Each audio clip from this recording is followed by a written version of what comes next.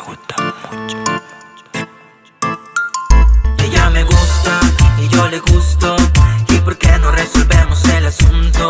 Y me pregunto si se pregunta qué tenemos que hacer para estar juntos. Ella me gusta y yo le gusto. ¿Y por qué no resolvemos el asunto?